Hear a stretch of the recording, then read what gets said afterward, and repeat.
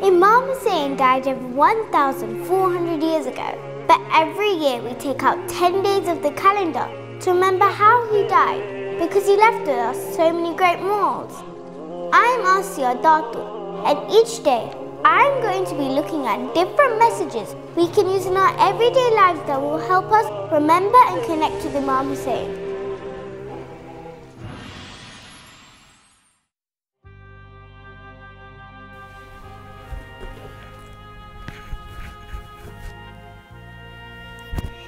If today was Eid or a special occasion, like going to a friend's house or maybe even a wedding, you'd want to look presentable and clean, right?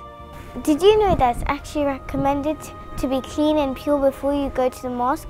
So that's why we take a shower and do wudu. So here's a tip. This Muharram, before you go to mosque, make sure you're clean because this is the place that Imam Hussain is going to be remembered.